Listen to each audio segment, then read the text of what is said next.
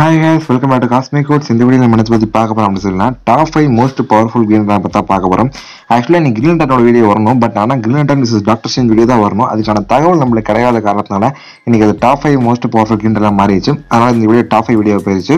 இப்போ வாங்க நம்ம டாப் ஃபைவ் பேஸ் பண்ணி யார் மோஸ்ட் பவர்ஃபுல் கிரீன் பற்றி பார்க்க போகிறோம் கிரீன் கதாபாத்திரங்களை பொறுத்த வரைக்கும் அந்த கதாபாத்திரங்களை வந்து நம்ம கிரீன் ட்ரிங்கை யூஸ் பண்ணி அவன் எக்கச்சக்கமான விஷயங்கள் பண்ண முடியும். அந்த ரிங்கு தான் அவங்களுக்கு ரொம்ப பவர் அது மூலமாக அவங்களால பறக்க முடியும். அதனால வில் பவர் வந்திருக்கு எனர்ஜி ப்ரொடக்ஷன் அது மட்டும் இல்லாமல் எக்கச்சக்கமான விஷயம் நம்ம கிரீன் ட்ரிங்கை மட்டும் வச்சு அவங்க பண்ண முடியும். ஒரு சில கீழான கதாபாத்திரங்களுக்கு வந்து கொஞ்சம் ஓவர் பவர் இருக்கும். அது என்ன அப்படிங்கறத நான் அப்போ எக்ஸ்பிளைன் பண்றேன். இப்போ வாங்க நம்ம வீடியோக்குள்ள போவோம். ஃபிஃப்த் நம்ம பார்க்க போற கதாபாத்திரம் ஜான் ஸ்டுவர்ட். ஏன் ஜான் ஸ்டுவர்ட் ஃபிஃப்த் இருக்கார் அப்படின்னு சொன்னா இவர் காட்டிலும் ஒரு பவர்ஃபுல்லான நாலு கதாபாத்திரங்கள் இருக்காங்க.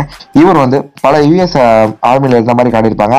இவர் வந்து பிறந்த இடம் வந்து நம்ம இடத்துல இருந்திருக்கு. அது மட்டும் இல்லாமல் இவர் வந்து மிக்கிகான் அது மட்டும் இல்லாமல் கோதம் கோதம் சைடில் இருந்த ஒரு யூஎஸ் மிரானா வந்து வாழ்ந்துருப்பாரு கலிஃபோர்னியால இருப்பாரு. அந்த கலிஃபோர்னியால இருக்கும்போது என்ன இருக்கும் அப்படின்னு சொல்லிக்கிறேன்னா கார்டியன்ஸ் ஆஃப் த யூனிவர்ஸ்ல வந்து இவருக்கு ஒரு மோதிரம் கிடைக்கும். இந்த மோதிரம் வந்து மேன் ஹண்டர் அப்படின்னு சொல்லிட்டு ஒரு வில்லன் எடுத்து சண்டை போடுவாரு. அப்பதான் ஃபர்ஸ்ட் ஃபர்ஸ்ட் இந்த கிரீன் ரிங் வந்து இவரை தேர்ந்தெடுக்கிற மாதிரி காட்டியிருப்பாங்க. அது மட்டும் இல்லாம இந்த கிரீன் ரொம்ப பவர்ஃபுல்லான கதாபாத்திரமா இருந்திருக்காரு. சினிஸ்டோ காட்டிலும் இவர் ரொம்ப ஓவர் பவர்ஃபுல் அது மட்டும் இல்லாமல் இவருக்கு வந்து ஹியூமன் அந்த பவர் நீங்கள் போட்டதுக்கப்புறம் வந்து ஒரு பயங்கரமான ஸ்பெக்ட்ரமாக மாறின மாதிரியும் காட்டியிருப்பாங்க அது மட்டும் இல்லாமல் இவரால் பறக்க முடியும். அது மட்டும் இல்லாமல் இவர் லீடர்ஷிப்ல சிறந்தவராக இருந்திருக்காரு. இவர் தான் லீடர் கப்ஸ் நிறைய தடவை ரீட் பண்ண மாதிரியும் காமிக்ஸில் காட்டியிருப்பாங்க இப்போ நம்ம ஃபோர்த் இடத்துல பார்க்க போற கதாபாத்திரம் யாரு அப்படின்னு சொல்லி கேட்டா சோடாமேட் யார் இந்த சோடாமேட் அப்படின்னு சொல்லி இவர் நம்ம உலகத்தை சேர்ந்தவர் வேற உலகத்தை சேர்ந்தவர். இந்த உலகத்தை வந்து டாக்ஸம் அப்படின்னு சொல்லி அழைக்கப்படுவாங்க கிரிப்டானுக்கு பக்கத்துல உள்ள கிரகம் மாதிரி அப்படி காட்டியிருப்பாங்க. இந்த கிரிப்டான் கிரகத்தை பத்தி இந்த கிரிப்- இந்த டாக்ஸம் கதை பொறுத்த வரைக்கும் இதுல டாக்ஸமேட் அப்படின்னு சொல்லி அழைப்பாங்க. இது வந்து ஒரு ரேஸ் மாதிரிங்க. இந்த ரேஸ் வந்து வெற்றி கட்டுறவங்க இருப்பாங்க. இவர் கிட்டத்தட்ட கிரிப்டானோட பிசியாலஜியும் டாக்ஸமேனோட பிசியாலஜி இருக்கனால இவர் கொஞ்சம் ஓவர் போல தான் காட்டுவாரு மற்ற கதாபாத்திரங்களும் இவர் ரொம்ப அண்டர்டா இருக்கிறதுக்கான காரணம் இவர் அப்பப்போ மிஷின்ல வந்துட்டு போன மாதிரி தான் காட்டியிருப்பாங்க. அது மட்டும் இல்லாம இவருக்கு வந்து heat vision என்காட்ஸ் vision x-ray vision telepathic vision அது மட்டும் இல்லாம சூப்பர் ஹியூமன் ஹியரிங் இதெல்லாம் வந்து மற்ற ஹீரோனா காட்டிலும் எக்ஸ்ட்ரா இருக்கும். அது மட்டும் இல்லாம இவர் வந்து இம்மோட்டல் மற்றும் இவருக்கு வந்து லாங் அதிகம் சூப்பர் பீட்னஸ் வந்து இவருக்கு அதிகம். இன்னொரு இவருக்கு ரொம்ப ரொம்ப அதிகமா இருக்கும். ஸ்பீடு இவருக்கு ரொம்ப ரொம்ப அதிகமா இருக்கும். அது மட்டும் இல்லாம இவர் நல்ல ஒரு மெக்கானிக்கல் திறந்தவர். அது மட்டும் இல்லாம ஹேண்ட் டு ஹேண்ட் கம்போர்ட் போறதும் இவர் நல்ல வல்லவராக இருக்காரு. அதனால இந்த சோடமேட் அப்படிங்கிற ஃபோர்த் இடத்துல இருக்காரு. அடுத்து நம்ம தேடத்துல பார்க்க போற கதாபாத்திரம் யார் அப்படின்னு சொன்னா மோகு. இந்த மோகோ கிரீண்டனை பொறுத்த வரைக்கும் சாதாரண மனிதன் கிடையாது ஒரு கிரகம். இந்த கிரகத்தை பொறுத்த வரைக்கும் ஏன் இந்த கிரகத்தை பொறுத்த இந்த கிரகம் வந்து ஒரு ஓவர் பவர்டான கிரகம்.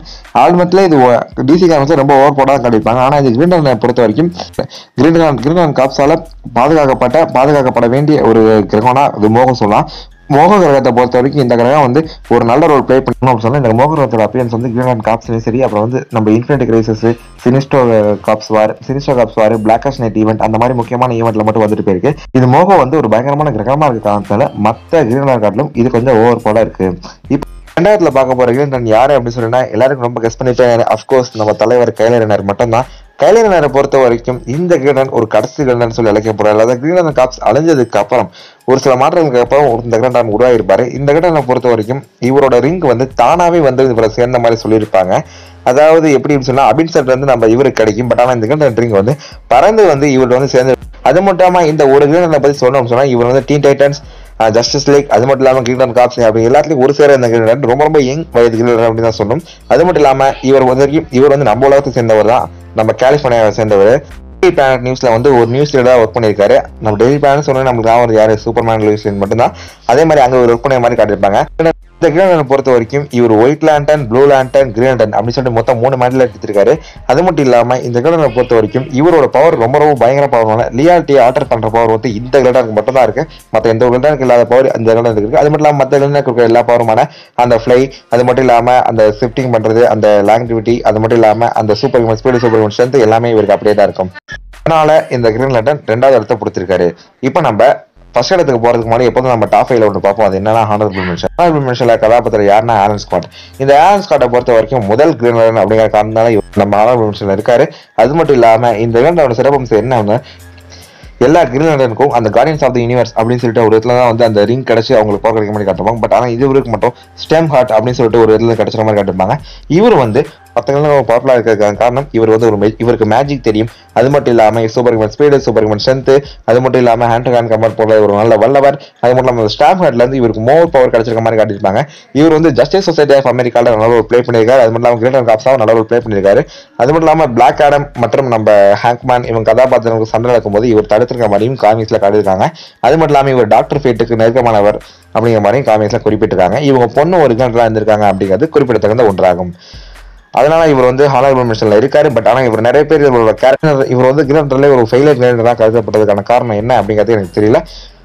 ஆனா ஒரு நல்ல பவர்ஃபுல்லான கிரேண்டர் இப்போ கூட ஜஸ்டிஸ் சொசைட்டி ஆஃப் அமெரிக்கா வந்து லைவ் ஆக்ஷன்ல வந்து எடுத்துட்டு போறாங்களே நம்ம சீரியல் அதுல கூட இவர் வராரு அப்படிங்கிறது குறிப்பிடத்தக்கது ஒன்றாகும். இப்போ வாங்க நம்ம முதல்ல போக போறோம். முதல்ல கிரேண்டர் யார் அப்படின்னு சொல்லினா கிரேண்டர் அப்படின்னு சொன்னாலே எல்லாருக்கும் முதல் ஞாபகம் வருது. நம்ம இந்த கிரேண்டரை பொறுத்த வரைக்கும் ஓவரால் ஃபேன் பேஸ் ரொம்ப ரொம்ப அதிகமான கதாபாத்திரம். ஹால் ஜார்டன் அதாவது தான் வாழ்க்கையில எவ்வளவு தோல்விகள் கண்டு ஒரு மனுஷன் எப்படி கிரேண்டரா மாறுறான் அப்படிங்கறத இந்த ஹால் ஜார்டன் அப்படிங்கிற கிரேண்டர் உணர்ந்து காட்டுவாங்க. வாழ்க்கையில் தான் வாழ்க்கையில் எல்லாமே தோல்வி. தான் போகிற இடமெல்லாம் தனக்கு தோல்வி. ஆனால் கடைசியில் வந்து இவனாக வந்து அந்த கிரேண்டருக்கு வந்து அமையும். அபென்ஷர் வழியாக வந்து இவர் கிடச்சிருக்க மாதிரி காட்டியிருப்பாங்க. இந்த கிரேண்டரை பொறுத்த வரைக்கும் சினிஸ்டோக்கு இவர் ஒரு நெருங்கிய நண்பர் நெருங்கிய எதிரி அப்படின்னு சொன்னாலும் இவர் தான் கிரேண்ட் காசில் ஒரு முக்கியமான மெம்பர் மற்றும் லீடர் அப்படின்னு சொன்னால் அது நம்ம ஹால்ஜார்டன் மட்டும்தான். இந்த ஹால்ஜார்டனை பொறுத்த வரைக்கும் இவர் நல்ல ஒரு பயங்கரமான ஆளுங்க. இவருக்கு வந்து அந்த கிரேண்ட் இருக்க எல்லா பவரும் இருக்கும் இந்த கிரிக்கெட்ல பொறுத்த வரைக்கும் இவர் வந்து ஒரு ஓவர் பவர் கிரீனர் அப்படின்னு சொன்னா அதுக்கு ஆச்சரியமே இல்லை. இவர் தாங்க ரொம்ப ரொம்ப ஓவர் பவர் கிரீனர் அது மட்டும் இல்லாம குறிப்பா சொல்லணும் அப்படின்னு சொல்லி இந்த மனுஷன் வந்து ஸ்பெக்டர் அப்படின்னு சொல்லி அழைக்கப்படுற அந்த மேண்டில் மரியாதைக்குரிய ஒரு பழிவாங்கும் குழவன் அப்படிங்கிற அந்த மேண்டில் வந்து எடுத்து வச்சிருக்காரு அப்படின்னு சொல்றது குறிப்பிடத்தகுந்த ஒன்றாகும். எத்தனை பேர் இந்த இத்தனை பேர் வந்து இங்க வந்து நம்ம ஹாஜான ஃபேன்ஸ் இருக்கீங்க அப்படிங்கிறத மறக்காம கீழே கமெண்ட் பண்ணுங்க.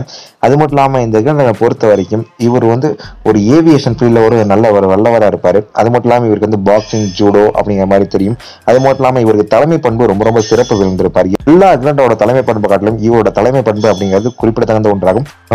டிசி காமிக்ஸ்ல இருக்க கிரண்டனுக்கு ரொம்ப சக்சஸ்ஃபுல்லான கதாபாத்திரம் அப்படின்னு சொல்லி சொன்னா அது நம்ம ஹால்ஜானன் தான். அதுல எந்த ஒரு மாற்றமே இல்லை. எத்தனை பேர் இதில் ஹால்ஜானா ஃபேன்ஸ் இருக்கீங்க அப்படிங்கிறத மறக்காம கீழே கமெண்ட் பண்ணுங்க. இந்த top five most powerful video பத்தி உங்களோட தாட்ஸ் என்ன அப்படிங்கிறத மறக்காம கீழே கமெண்ட்ங்க நான் ஏதாவது கேண்டை வந்து பவர்ஃபுல்லாக இருந்து விட்டுட்டேன் அப்படிங்கிறத மறக்காம கீழே கமெண்ட்ங்க அடுத்த டாப் ஃபைவ் வீடியோ ஒரு மாடல் வீடியோ என்ன டாப் ஃபைவ் வீடியோ போடும் அப்படிங்கிறத மறக்காம கீழே கமெண்ட் இந்த வீடியோ பத்தி உங்களோட தாட்ஸ் என்ன அப்படிங்கிறத மறக்காம கீழே கமெண்ட்ங்க இது வரைக்கும் இந்த வீடியோ ஸ்கிப் பண்ணாமல் கேட்ட அனைவருக்கும் நன்றி. ஓகே காய்ஸ் ட்ரீட் நம்ம மீட் பண்ணுவோம்.